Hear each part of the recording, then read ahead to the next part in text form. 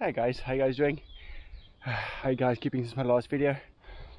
Um, I had a, a, a thought. What is your favorite place to ride? I mean, everybody has a favorite place. Um, it's got sentimental um, value behind it, or meaning behind it, or you know, you just feel at home when you're there. Now, mine, obviously, you guys know, I uh, mine is Tokai, and um, I've been riding here since oh god, I can't remember.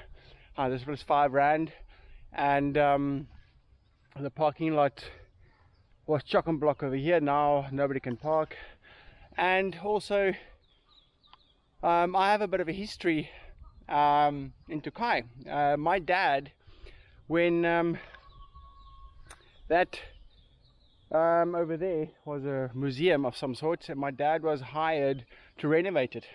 So we used to come here as kids, my brother and myself, and um, play up there, and then play down there um, in the forest, uh, pick up stones, so on and so on, sticks, and play, and you know, while my dad was busy working. So it had a bit of a sentimental value to Kai. That's when there was a lot of trees here. It was Tokai forest, not Tokai trails.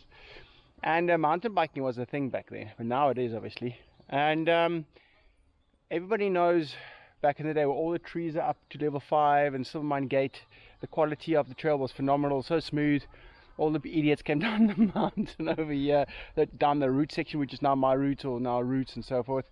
And Fairy Garden was there up there as well. So I remember that very fondly. And just down the road over here used to be like a little store. We used to buy crunchy biscuits. We call it Bosbo cookies in Afrikaans. Um, because every single time when my dad came over there to build, uh, you know, the, museum, he went got us some crunchies, and it was Bosbo cookies. the irony of it. Um, but yeah, there's this like so everybody has a like a favorite place to come to, and mine is obviously Tokai, like a lot of people. Um, the serenity of Tokai, uh, the trees, um, the gravel under your tires, the smell of Tokai. Obviously now a lack of trees of the heat and the wind, but it's still Tokai. Um, and you guys see my videos all the time riding, coming down the same trails all the time.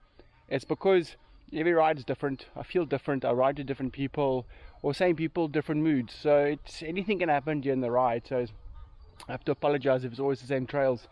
Um, sometimes we give an update on the trail. So yeah, um, Tokai. Yeah, that's my favorite place. What's your favorite place to ride? Now, obviously, you guys remember that fire that ravaged Tokai. And Tokai was closed for so long. The mountain was closed. And um, it ravaged this place, it destroyed it completely.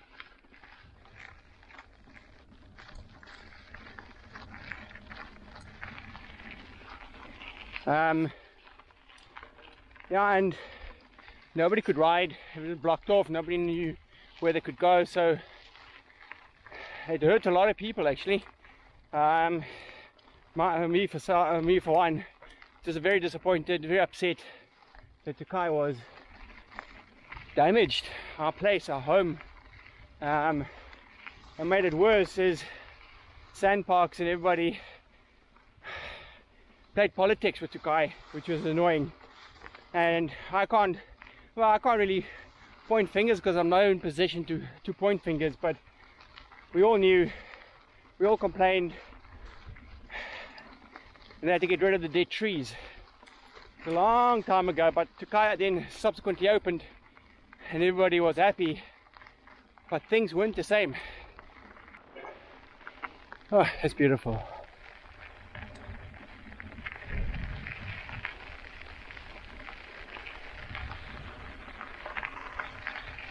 Um, so since then, you know, um, Tokai MTB came around and started something good.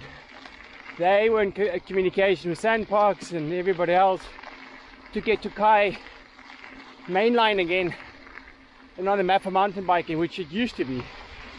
Um,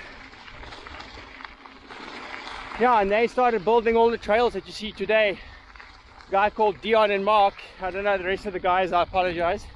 And these are these are these guys are the unsung heroes of Tokai because they built the trails. They got the sponsors involved. They they twisted um, rubber arm to give us these, to give us these trails. And um, obviously we are eternally grateful for this. And obviously you have to, I know I haven't, I'm actually ashamed, I hang my head, my head in shame. Become a member of Tokai MTB and support the trails. I think it's still 400 bucks. And um, and then without that donations we can't build all these wonderful trails and get more and more sponsors involved. So yes, Tokai is a very special place in my heart, as always will be. I know there are other trails in Stellenbosch side. I haven't really ridden them other than races, but I live at the foot of this mountain, so why not ride this mountain? Whew, I'm climbing. So yes, I think,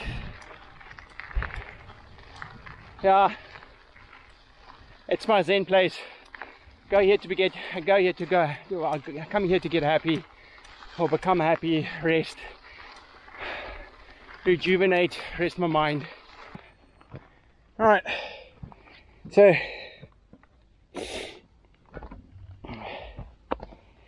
you guys all remember what happened to that little slash museum that my dad worked on.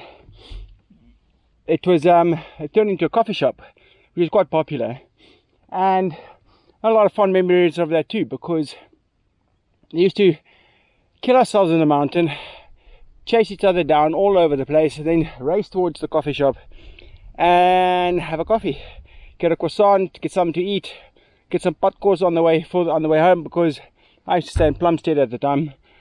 And used to race um, to the coffee shop and then buy coffee and have a big chat, laugh about what happened during the trail. It was a nice, you know, end of ride get together. Um, but that changed. And now it's not a coffee shop anymore. Nobody knows what's going to happen with it. But it would be nice if it was a coffee shop because then people can actually stop, have a drink, have something to eat afterwards before they, you know, bugger off home.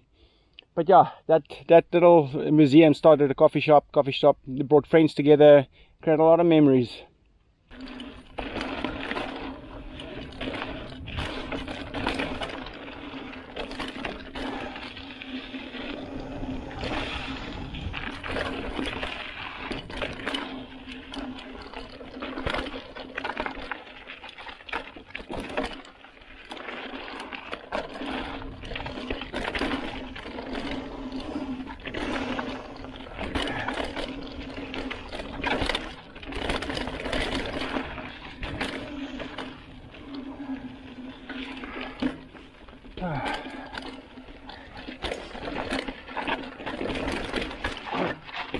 Oh shit.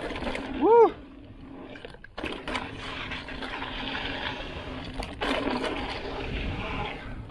This wind is putting me off.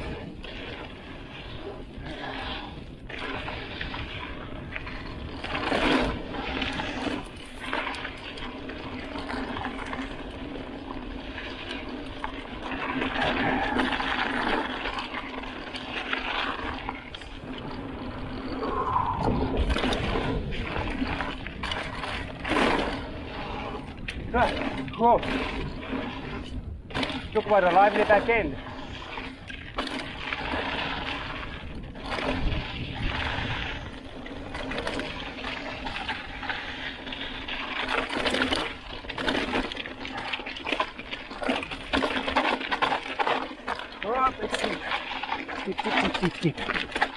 Oh, shit. Oh. Woo. Yes!